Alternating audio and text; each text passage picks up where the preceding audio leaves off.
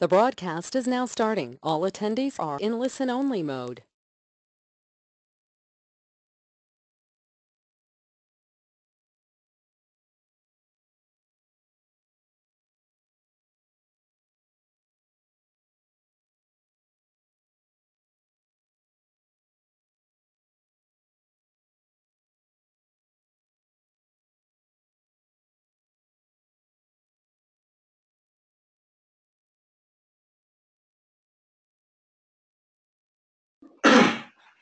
Good morning, everyone. This is Ian sitting in with Topher and Manoj from Red Hen Systems. We are today going to be talking about MediaMapper Mobile and Android app.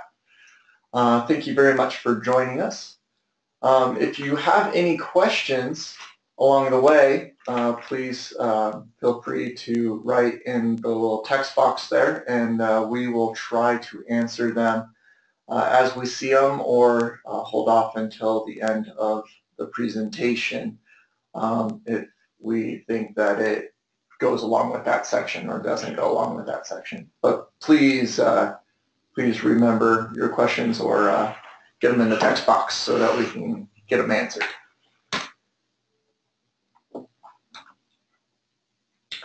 So the first purpose of MediaMapper Mobile is to geotag um, photos and videos, and right here we're, we're going to be talking about photos.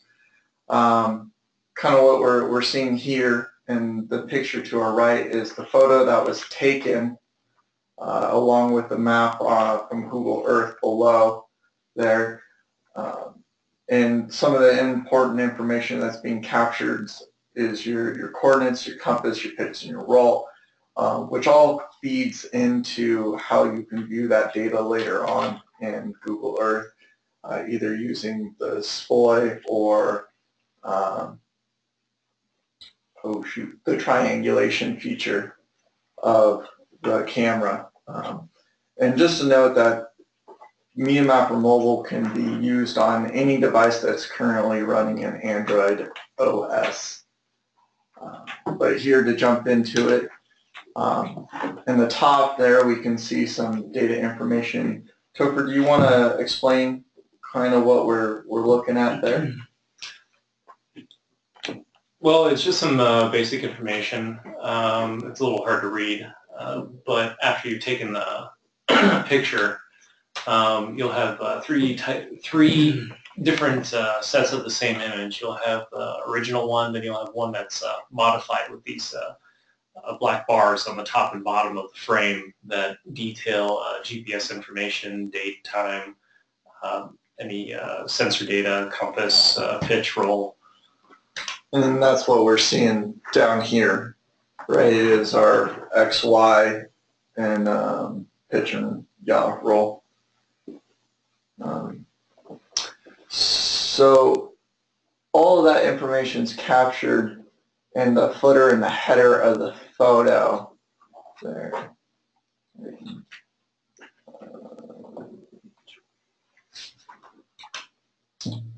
And right here we're seeing the, the close-up of the Google Earth image of where the photo was uh, taken from, which happens to be uh, Aspen. And here we have some video of what this process kind of looks like.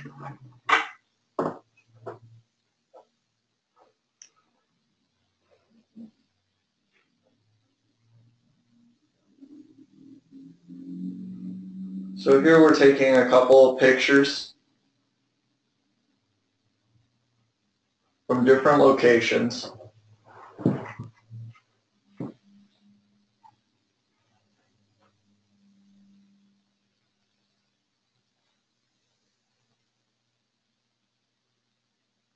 And one more for good measure.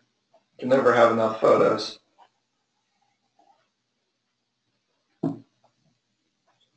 And this is kind of what the screen that you would open up to. And you can go to view photos. And here we're going to go into Australia real quick. And this is uh, a part of the SPOI function, uh, which is spatial perimeter of interest. Um, it's a, a field of view projection. And what we're looking at is uh, this mountain way off in the distance here. And we're going to be able to um, kind of see the entire field of view that the camera can view at that given point in time.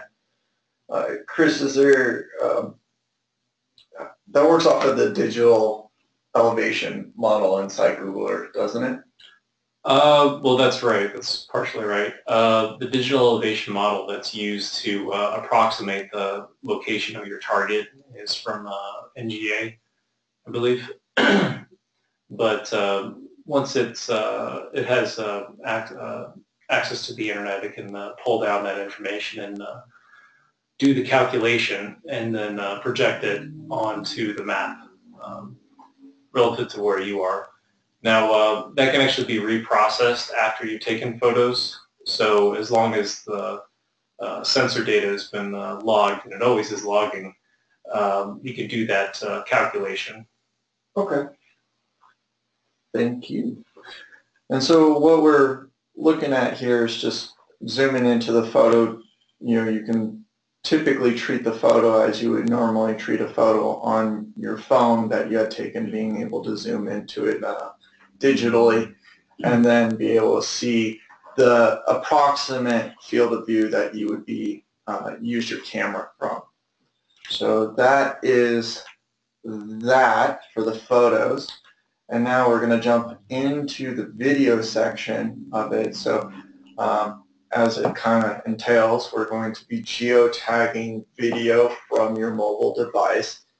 And right here, what we're kind of looking at, in the top right, we're looking at that compass that we had mentioned um, up above there, along with your, you know, northwest, uh, your headings, and then our time. And again, we have this field of view projection of what the camera's hypothetically looking at.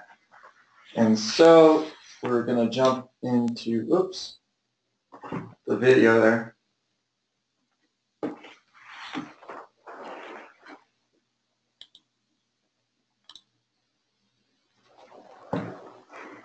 So here we're going to be looking at a video of a video being geotagged.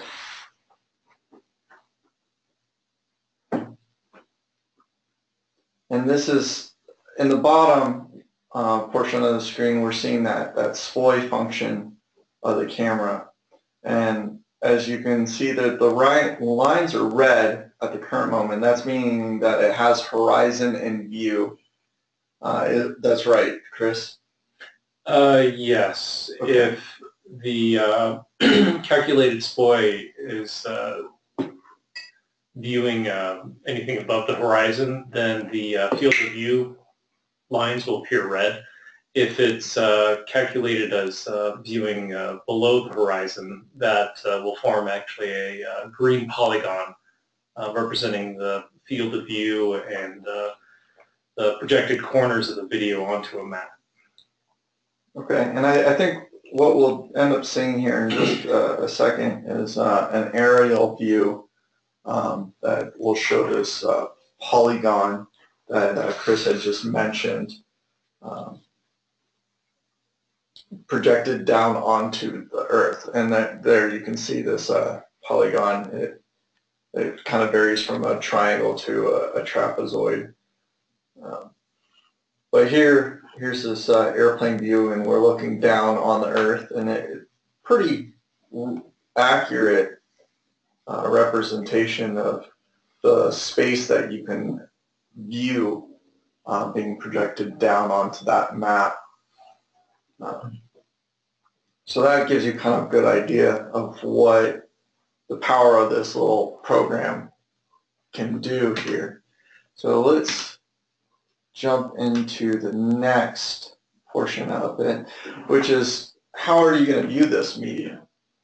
Uh, once you've taken maybe pictures or video, um, is we can put it onto Google Earth via our um, post-processing software, uh, Isware and viewing tool, or we can view it in ArcMap. So let's take a quick look at what uh, and Google Earth looks like using Media Mapper Mobile. So here we have another aircraft flying along um, and looking at some forest. And we can see that the track log is uh, being able to be accessed at any point in time.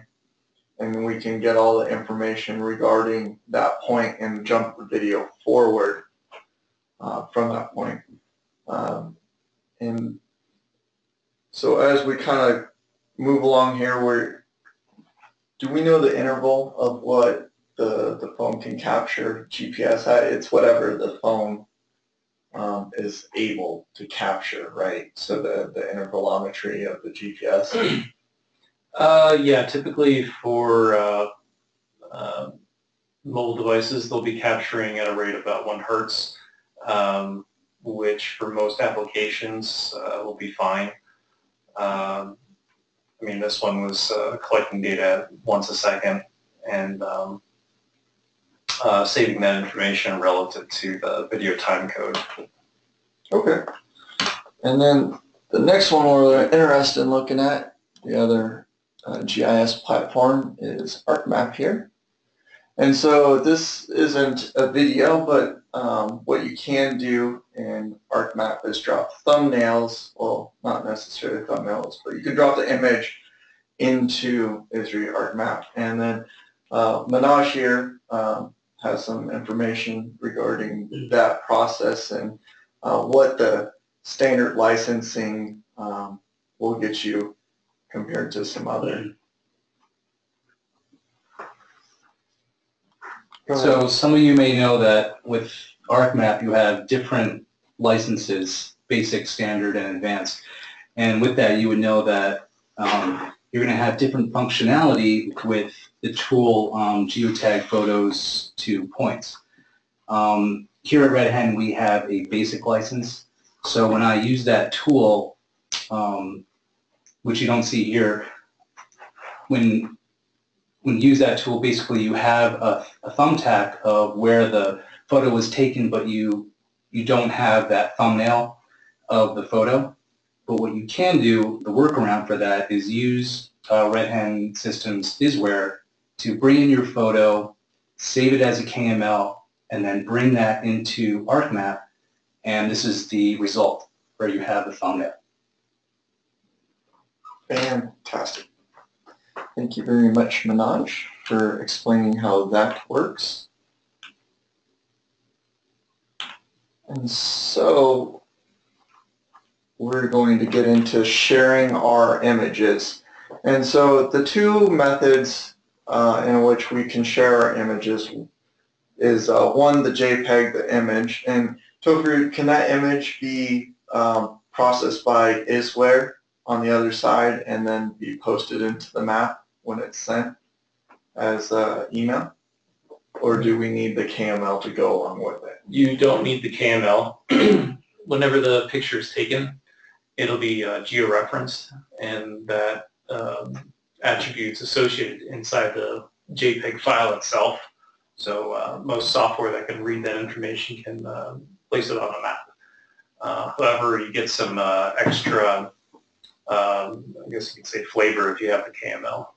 Okay. Well, that's always important stuff. Have extra flavor in there. Um, and then this is the additional file that can be sent uh, through uh, the Media Mapper mobile app, which is the KML, which would actually give you uh, things like your track log. Is that right, Topher? Uh, yes, that's right. Okay. Any other um, things that come along with the, the KML as opposed to just the JPEG or the MP4 that might be sent? Well, all the uh, metadata is going to be associated in that KML, and it can also save you some extra steps if you are uh, um, needing to see the location of that photo. Um, so all you have to do is open the KML, and uh, assuming you have Google Earth or something that can read it, then it'll show you where it is on the map. And KMLs are also in, or well, that's a KMZ file in the picture there, but KMLs are interpretable by uh, ArcMap as well. So some of the applications that we've uh, come across um, and uses for Media Mapper Mobile that uh, might inspire uh, you savvy GIS folk out there to uh, do such things is uh, natural resources, wildlife monitoring, vegetation management, some trail status management. Uh, if you're in the security industry, uh, you know, doing surveillance, uh, emergency response is always an important thing to be prepared for, and this application has uh, timelessly showed that it can uh, produce that kind of material readily and very quickly. Um, the hospitality industry uh, likes to use this app because you know there's those important landmarks out in the forest or uh, in town that you would like to mark and have photos with. A little bit easier to explain to your your uh, guests where to go. And of course, uh, sports as well, being alpine skiing, skiing, mountain biking, motocross, and uh, rally racing, all a little bit better with some map information behind it. Places you can download this app uh, for the cities out there. Um, you can download it from Google Play. Uh, it's there for 19.95, and there is a 14-day free trial out there. So I, I, urge you, if you have not already downloaded and purchased it, uh, please give it a go, and uh, please put a review up there as well. And then for you uh, military folks that got CAC cards, uh, please go to the NGA GeoInt App Store. Um, they also accept the, like I said, the CAC card or a PIV, and um, it also works if you have austere user uh, permission from the US Gov.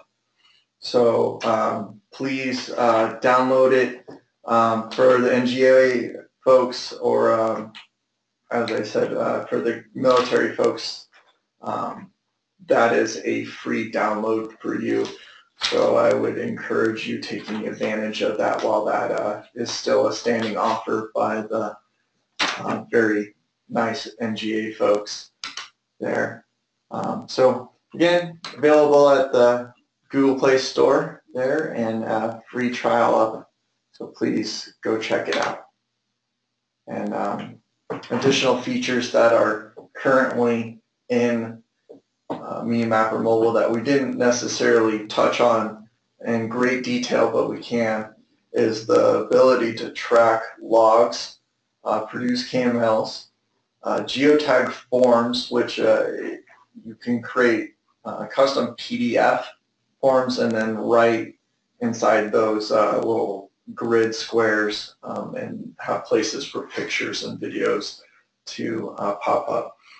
Also the ability to add geo uh, tagged audio notes so there uh, not something that you can type out and uh, any, uh, what is, how many characters is Twitter? 220 characters? Oh, I don't know. I don't use yeah, Twitter. I don't either.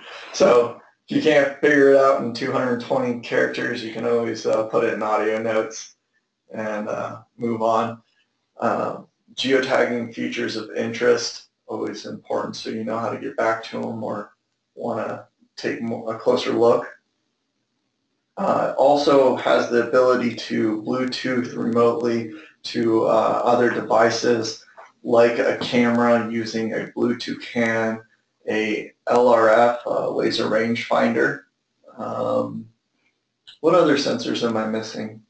For, for uh, Bluetooth connectivity with uh, Well, if you have an external GPS, I don't know if you already mentioned that, that's uh, more accurate than uh, your uh, mobile device. You can connect to that.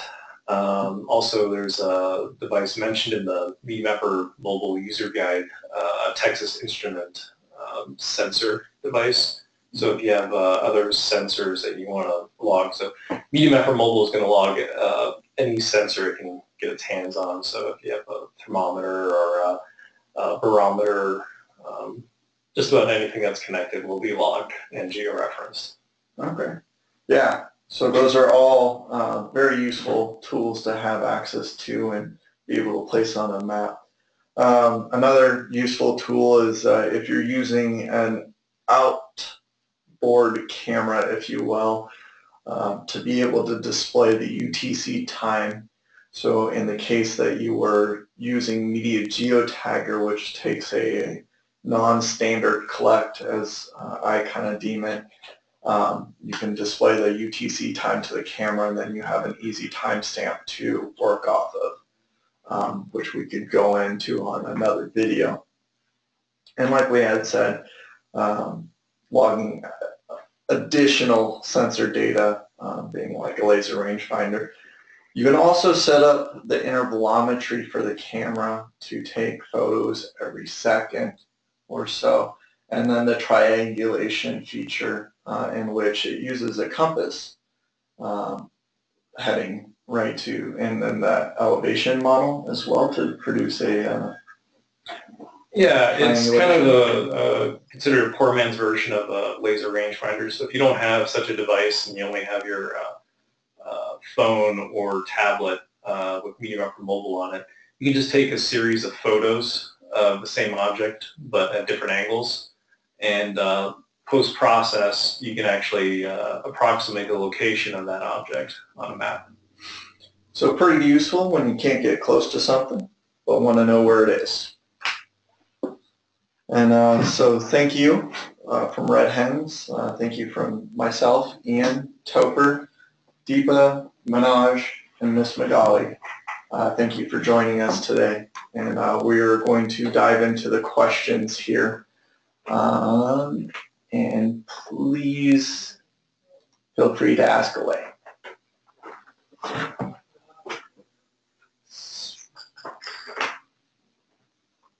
And we'll, we'll give it a couple minutes while you guys type them out.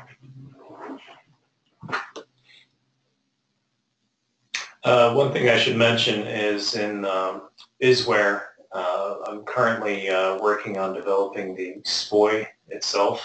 Currently, you can only uh, view that information in Media Mapper Mobile, but uh, here soon we'll actually enable that in Isware for both photos and video. That is a, a good and useful thing to know. Thank you very much, Topher, for adding that to Isware. Well, we'll give it another seven minutes or so while people think of their questions, if we didn't answer all of them in the presentation there.